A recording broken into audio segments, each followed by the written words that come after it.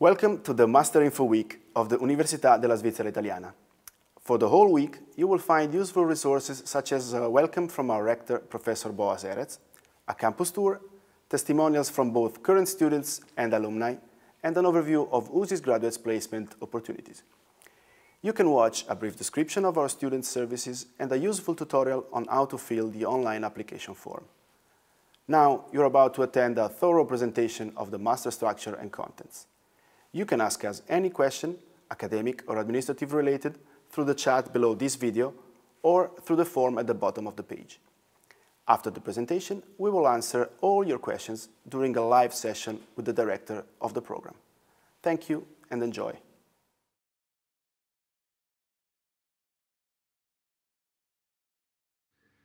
Good morning, everyone. My name is Gabriele Bavota, and together with Professor Cesare Pautasso, I direct the Master in Software and Data Engineering at the Università della Svizzera Italiana. In this video, we are going to illustrate our program and tell you why it's a great choice for your professional career. Before moving to the study program, let's briefly talk about these two disciplines that we combine together, namely software and data engineering. Let's start with the software part, okay? Software is nowadays the backbone of our society. It's basically everywhere. And software is becoming more and more complex over time. Let me give you a few examples from this beautiful infographic that you can find on informationisbeautiful.com. Here you can see different software systems sorted by their size in terms of lines of code. And if we look at Photoshop, for example, in its first version from 1990, we can see that it had around 100,000 lines of code. Okay? Well, this same software 10 years later had 4.5 million lines of code. So it was around 40 times bigger. And this pattern can be observed across several pieces of software. For example, if we look at the Windows operating system, it went from the 4.5 million lines of code in 1993 up to the 50 million lines of code for Windows Vista in 2007. And if we think, for example, to modern cars, well, they can run something like 100 million lines of code. That means if you try to print this code, you will get more or less 5 million printed pages. Okay? Now, I used all these numbers to convey a single message, meaning that software is not only central in our life, but it's also becoming more and more complex. And you know, at this point, you may think, okay, but the size of a system does not really imply its complexity, which is true. So let me tell you something more. In 2004, the Standish Group ran a study on more than 8,000 software projects and what they did was basically to categorize these software projects based, based on their outcome. Okay, so they had three possible outcomes: projects that succeeded, meaning that the project was delivered on time, on budget, and it actually featured everything that was planned at the beginning. Projects that were challenged, meaning that they were delivered but uh, maybe they were over time, over budget, or both, or they didn't really implement what they promised at the beginning. And finally, those that failed, meaning those projects that were cancelled down the road. Now, a question for you is, what is, in your opinion, the percentage of these 8,000 projects that succeeded, were challenged, or failed? I'll give you a few seconds to think about it. Okay, so let me show you the results. Less than one in six projects succeeded, 16%. So why is this the case? Well, in one sentence, this is due to the fact that software is very likely the most complex construct ever built by humans. It has millions of components that needs to interact between them. Okay? So the complexity is there, the complexity is huge, and in our master program, what we try to do is to teach our students how to deal with the complexity of modern software systems. But you know, this complexity is not only due to the code itself, it's also due to the data that this code generates and manipulates. In other words, software nowadays is immersed in data. To give you an example, a modern Formula One car can generate 4 gigabytes of data per lap. This means something like 50 megabytes per second, and these are data that more often than not must be processed and analyzed in real time. Basically, we need software to make sense of this huge amount of data that is coming in real time. But in many cases, we also need to comprehend the data that the software manipulates and generates in order to understand the software itself. So for these reasons, we decide to combine in our master these two disciplines, software and data engineering, with the goal of teaching our students how to design, develop, architect, and test high-quality, large-scale software and data-intensive systems. So this is the, the goal of our master, and now Professor Pautasso will show you our study program.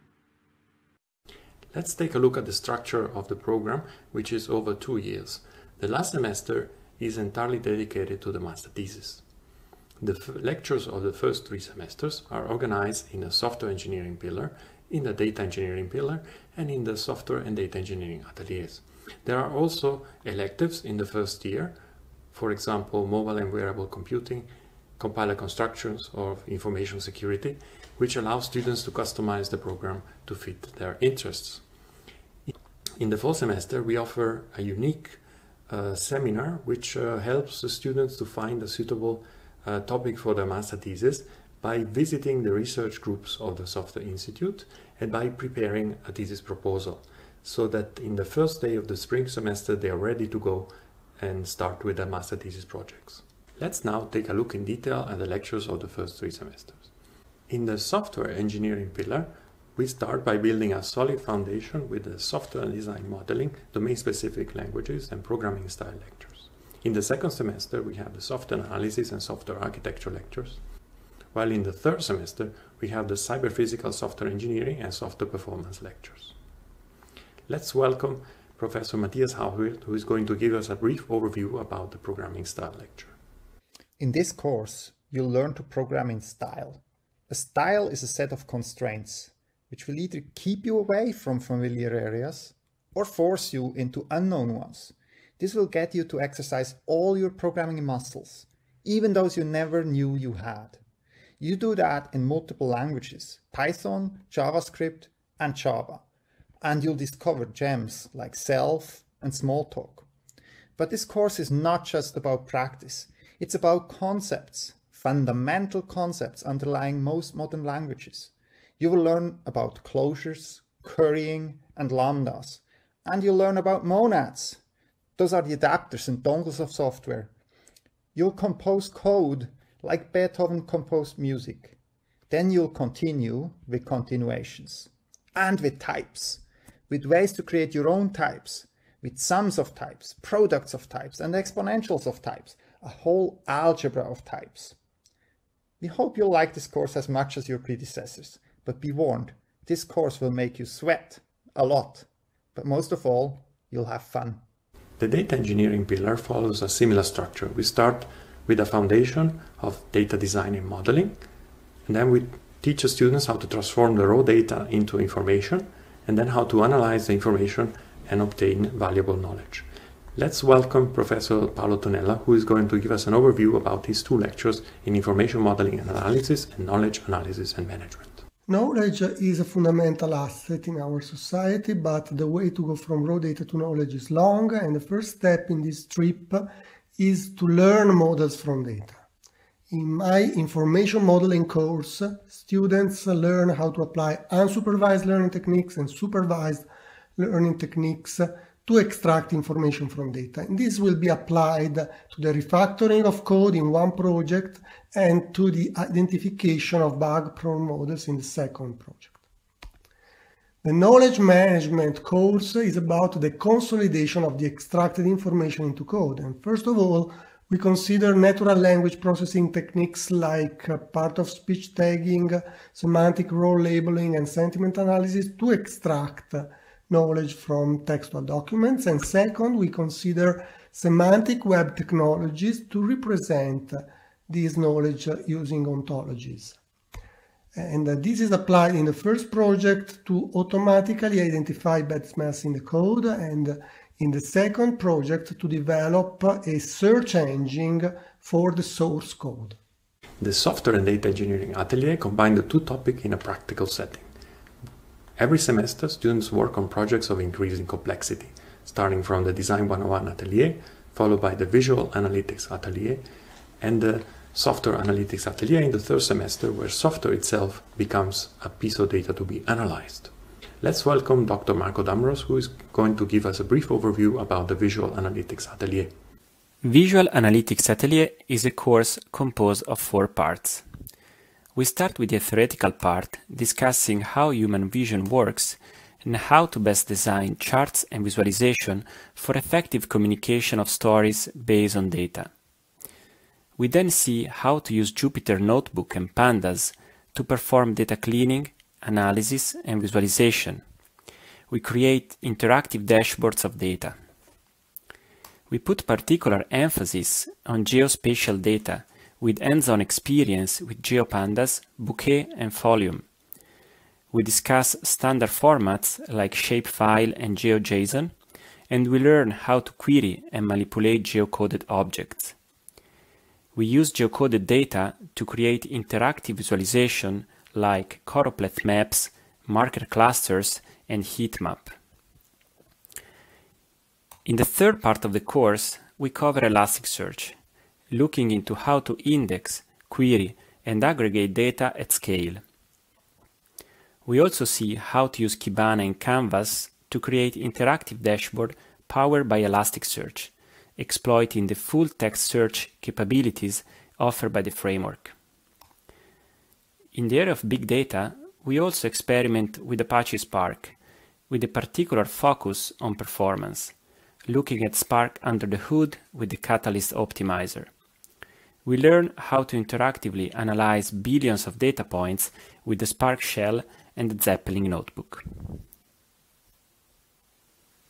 Students work on their master thesis at the end of the program. Let's take a look at the projects of some of our recent graduates. The first project is about how to react to traffic spikes by predicting whether your cloud-based software is about to go viral. The second student trained a simulated self-driving car and tested it to compare different machine learning strategies performed with different driving conditions. The third student built an interactive visualization to help operating and troubleshooting an industrial chemical robot in a local company here in Switzerland. So this was the structure of the master program in software and data engineering. The program is taught 100% in English. It is my pleasure to welcome the Software Institute professors who are teaching in the master program. Hi, I'm Gabriele Bavota and I'm teaching software analytics. Hi, I'm Marco D'Ambros and I teach Visual Analytics Atelier. Hi, I'm Carlo Alberto Furia and I'm teaching software analysis and software design and modeling. Hi, I'm Matthias Hauswirth and I teach programming styles and software performance. Hi, I am Michele Lanza and I'm teaching the Design 101 Atelier. Hi again, my name is Cesare Pautasso and I teach the software architecture lecture. Hi, I am Paolo Tonella and I teach information modeling and knowledge management. Okay, last but not least, why should you study these topics at the Università della Svizzera Italiana? I'll give you three good reasons. First, we really care about teaching. At our university, the quality of teaching is monitored at the end of every semester with students providing feedback about uh, the attended courses. In particular, each student will assign a grade from 1 to 10 to all the courses that he or she attended. And uh, these are the grades that we got for the 14 core courses in our master. As you can see from the average and from the comments that the students left, the students are quite happy with our courses. Second reason, Courses are taught by world-class researchers in the software field. The ranking that I'm showing you is from csrankings.org, a website where you can sort universities based on publications in top venues in different computer science fields. Our university is first in Europe for software engineering research in the last 10 years. Last but not least, all of this that you have seen is in Lugano, a beautiful city in the southern part of Switzerland. The deadline for applying to our master is on the 31st of May for uh, non-European students who need a visa and 31st of August for European students. And you can also see what is the deadline to apply for a scholarship. Finally, here are some pointers for contacting us and for applying to our master. We really hope to see you next year joining our Master in Software and Data Engineering at the Università della Svizzera Italiana. Thank you. Welcome back. Thank you for watching this uh, thorough presentation of the Master in Software and Data Engineering. Uh, today, uh, here with me to answer all the questions you're sending us, uh, the two co-directors of the program, uh, Professor uh, Cesare Pautasso and Professor Gabriele Bavota. Thanks for joining us. Thank you. Good morning, everyone. Good morning, everybody. Perfect. Let's dive uh, into the questions that we are getting. Um, before we start, I will remember to the, to the attendees that you have two ways to send us uh, questions. The first is through the live chat that you can see below this video. Uh, remember that this live chat will be on until the end of this session, and then you cannot send any more questions through the chat. But below the chat, at the bottom of the page, you find a, a, web form. You can keep sending your questions after the end of the session throughout the week and the next coming weeks. We will answer um, as soon as possible uh, as study advisory service, and we will forward to the professors uh, all the academic related questions. Okay, so let, the first question is uh, from Marco, and he says, good morning first, and how many students are there in, a, in an average class? Professor Pautasso, you can uh, answer this. Uh, good morning, Marco. Thank you for your question. Our goal in this master program is to guarantee you a close one-on-one -on -one relationships uh, with the professors uh, teaching you the various classes. And uh, the current official target for uh, admission that we are going to make for the selection of your applications is about 20 students. And this is also the number of students present in most classes. Okay. Thank you. Uh, let's go on further. Uh, Thomas is asking, uh, again, he, he, says hi. Uh, everybody in the industry is talking about IoT, uh, so the Internet of Things. Is the master's degree uh, tackling this topic? Professor Pautasso, again. Uh, yes, the Internet of Things uh, was one of the reasons why we have uh, designed this master because it's one of the application examples that uh, generate a huge amount of data that needs to be processed uh, using software. And there is uh, one particular lecture that you will find in the in the software engineering pillar, which is called the cyber physical software engineering class. This class is specifically targeting these type of applications. And I'm very proud to confirm that uh, Massimo Banzi uh, will be co-teaching uh, this lecture also next semester. Massimo Banzi is the founder of the Arduino company, which uh, is a very successful company building uh, IoT devices. And uh, you will have uh, the opportunity to uh, program uh, projects and, and demo applications using these type of Internet of Things devices in this class. And you will have a chance to learn from the person that actually invented them. Okay, very interesting. Okay, thanks. Uh, next question, uh, Michele is asking, uh, dear professors, can you please explain what's the um, relationship uh, between uh, the code lounge and the master? So maybe Professor Bavota can explain a little bit to maybe all other students and attendees what's code lounge. Maybe it's not so clear for everybody and what's the relationship? Sure, sure. Thanks for the question. So Code Lounge is a center for research and development. It's a part of the Software Institute that is basically the institute within university running this master. And uh, I would say it's a great opportunity for our students because, uh, especially in the context of their master thesis, they can work on projects proposed by Code Lounge. Now, why this is a great opportunity for them? Well, because Code Lounge works at the intersection between research and development. So mm-hmm. they work on very advanced projects, very innovative projects. They apply the latest technology, latest frameworks. So it's basically yet another learning opportunity for our students. And I think uh, around 40% of our students as of today decide to do their thesis in the context of Code Lounge. So this is basically how they participate in the master. And of course, the director of uh, Code Lounge, Marco D'Ambros, is also one of the professors for visual analytics at MBA. Okay. Okay, thanks. Michele is asking another question, uh, a more uh, administrative, I would say, one, so I, I can tackle this. He's asking that if its level of English is not very good, if you can take language classes while attending the masters. So, Michele, uh, basically, you can take uh, uh, English classes uh, while you're attending the master. The university is offering English classes to all enrolled students. But before this, uh, you must, you know, uh, show us that you have at least your English level is beyond the the threshold we we put, which is a B2 English level. Uh, according to one of the uh, international certificates, it's either IELTS or TOEFL or a Cambridge certificate. Uh, we know that examination centers are now, you know, put closed. You know, the exams are put on hold because of this uh, pandemic outbreak. Uh, and for this reason, we uh, moved the deadline for students to present their examination, their, their test, a little bit further. So you have until the end of the, of the year, so until December. But you still must show us that you've got this level. Uh, of course, if you are an English mother tongue, and it's not your case, but if you, and if you studied a bachelor degree entirely in English, there's no need for this certificate.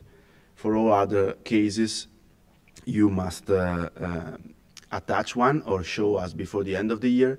And then if you want, you can add English classes to your master, uh, regular master courses. Then the next one is from Miriam, uh, and it's a question about uh, internship. Does this master gives internship opportunities? And if yes, where and in which semester? Uh, Professor Bavota, can you answer? Okay, yes. So uh, our students uh, have for sure the opportunity to do an internship in the context again of the master thesis.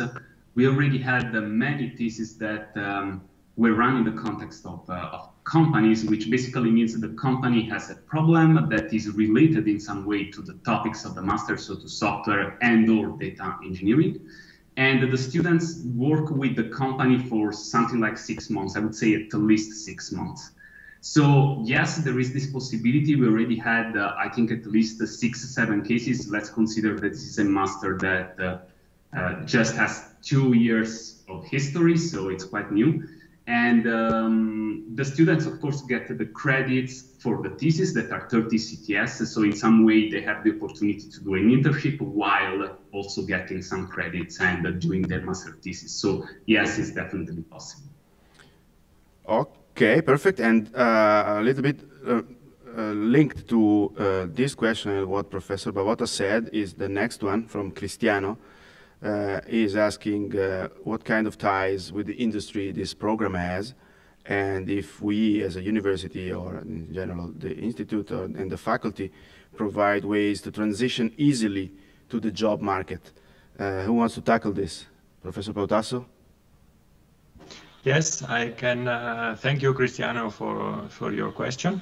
Um, we I don't I do not want to mention ties with uh, specific uh, companies at, at, this time, but uh, we do have um, a tradition of inviting guest lecturers from industry into our lectures. So from time to time, you will have a chance to uh, see experts and uh, senior uh, developers or architects come and, and present into ordinary classes. Uh, you have already heard about the internship opportunities. So this is also, there is a, a whole uh, ecosystem of, of companies uh, here in Lugano and in Ticino and in Switzerland with which we collaborate with, and they are uh, very open to hosting our, our students. Uh, in the past, we have also organized field trips to conferences, to industry conferences, where the students have been given the opportunity to uh, see uh, very close upfront uh, specific topics, specific technologies directly, you know, in the in the real world. Mm-hmm. And um, I can, you know, of course, which ways do we support to transition to the job market? Well, of course, there is the, the usual job fairs where where you can uh, visit companies that come to the university periodically and, and interview and and uh, get to know them uh, as well.